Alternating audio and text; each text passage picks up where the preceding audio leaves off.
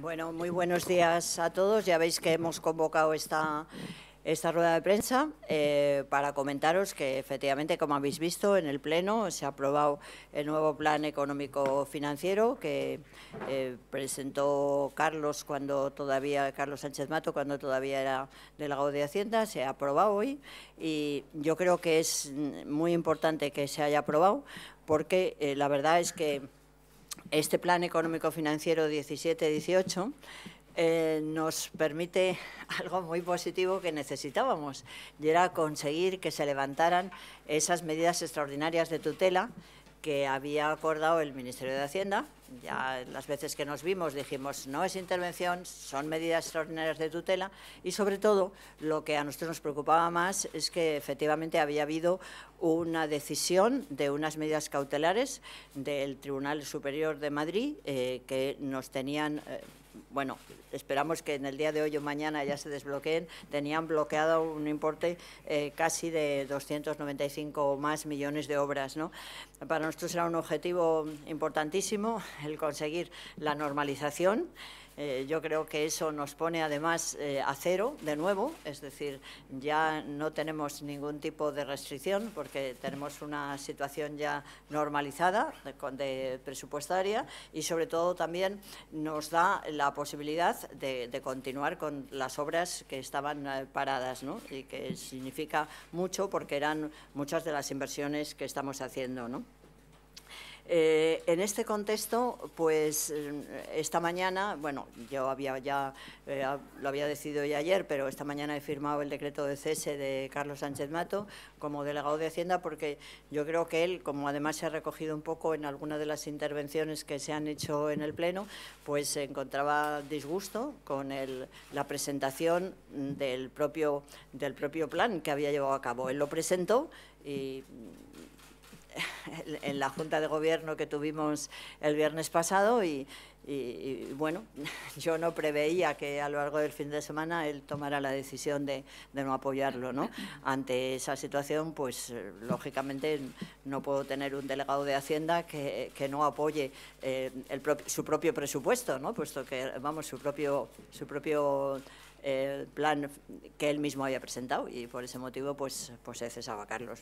Eso ha sido sin perjuicio de que, como se ha dicho a lo largo de las intervenciones también, pues por supuesto que yo le estoy agradecida por eh, la dedicación y el trabajo que, que, ha llevado a cabo y bueno, todos los valores positivos que tiene y por supuesto que va a seguir trabajando en el, en el, como, como delegado mío en el distrito de Vicálvaro y probablemente pueda asumir algún otro distrito, ¿no? porque tenemos que hacer ahora un proceso de organización, porque al haber nombrado a Jorge, que lo tenemos aquí como delegado de Hacienda, va a ser difícil llevar dos distritos, además complicados, y tendremos que hacer una, cierta organización. Em, yo creo que es muy importante que se plantee con claridad eh, por qué nosotros, eh, que como ayuntamiento, cuestionábamos la forma en la que el Ministerio de Hacienda estaba interpretando la ley de, sostenibilidad financiera y presupuestaria, em, hemos aceptado ahora, aún a nuestro disgusto, la interpretación que da el propio Ministerio de Hacienda. Llevamos ya pues tiempo em, teniendo estas divergencias. Estas divergencias se habían expresado en dos procedimientos judiciales que estaban en marcha, uno instado por nosotros en el que pedíamos que se revisara la interpretación que estaba haciendo el Ministerio de Hacienda y otro a instancia del propio de la delegación de gobierno, a su vez instada por el Ministerio de Hacienda, para eh, que se dejara sin efecto medidas de interpretación que nosotros habíamos llevado a cabo. Nos parece que mm, en este momento mm, tenemos que aceptar que la decisión, la capacidad interpretativa, pues sobre cómo se entiende que debe ser esto que se llama la regla de gasto, la tiene el Ministerio y hemos hecho pues lo que hacen otros ayuntamientos, pues así por citar alguno, Cádiz, Zamora, Barcelona, todos cumplen la regla de gasto y nosotros, por tanto, en la interpretación que da el Ministerio, pues hemos seguido esa decisión, ¿no?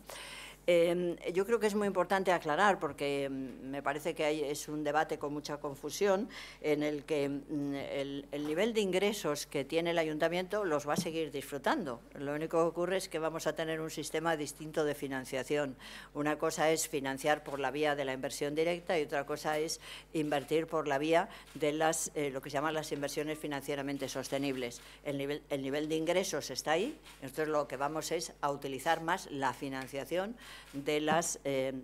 de ese procedimiento especial que son las IFS. Ya sabemos que no tienen las mismas características y cuando, eh,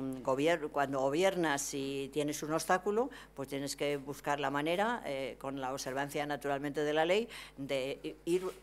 digamos, rentabilizando al máximo y, bueno, pues hacer posible que pueda llevarse a cabo de la mejor manera. No, no nos preocupa, y es importante decirlo, no se ha suprimido ninguna prestación, ni se va a suprimir en ninguna manera a lo largo del 18 ninguna prestación, ni se va a suprimir tampoco ninguna subvención, porque no hace falta, porque no es necesario. Seguimos teniendo un nivel de gasto muy importante, e insisto, un nivel de gasto que quizá va a restringir eh, alguno de los capítulos, pero porque vamos a tener la posibilidad de tener más IFS, es decir, más otra capacidad de financiación. ¿no? Entonces, en esa medida,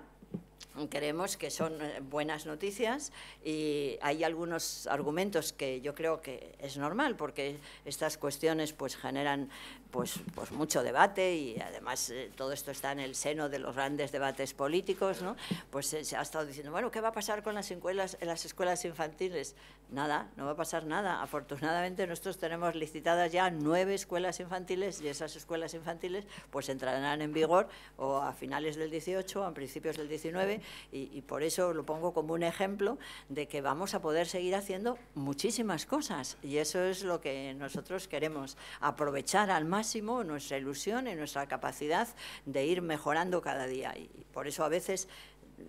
da la impresión de que desde algunos sectores es un poco como lo de cuanto peor, mejor. Pues no, nosotros creemos que si hay dificultades, las superaremos. Si tenemos que buscar más cómo compensar eh, y cómo poder aprovechar todas esas fuentes de ingreso que significa lo que, lo que llega al ayuntamiento por, por esa transferencia de rentas que hay, tener la seguridad que, que lo, vamos, lo vamos a seguir haciendo y, y yo diría que teniendo muy claro que, como ya os decía antes, eh, la responsabilidad del Gobierno es saber superar dificultades para conseguir el qué pues que la verdad es que la vida de los madrileños mejore. Lo estamos consiguiendo, ya digo, a mí me parece que algunas de las cuestiones que ya os he dicho, como lo de las nuevas escuelas infantiles que ya están licitadas, o otras muchísimas obras que ya se están licitando, algunas que se están ya llevando a cabo y que en cuanto se levante eh, la suspensión de estos, que son 200, más de casi 300 millones, pues lo vais a ir viendo como lo habéis visto todos, pues que Madrid estaba llena de obras y de nuevo Madrid va a volver a estar otra vez llena de obras.